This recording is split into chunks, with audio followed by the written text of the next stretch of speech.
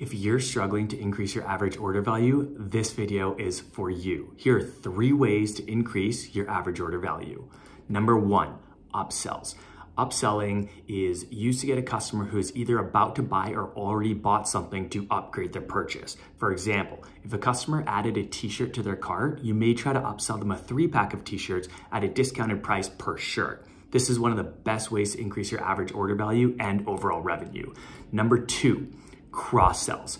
While upselling is generally focused on encouraging a greater purchase, cross-selling usually involves trying to convince a customer to make their order larger by adding additional items to their cart. Cross-selling is not only a great way to increase average order value, but also allows you to easily showcase other popular items in your store that customers may not otherwise see.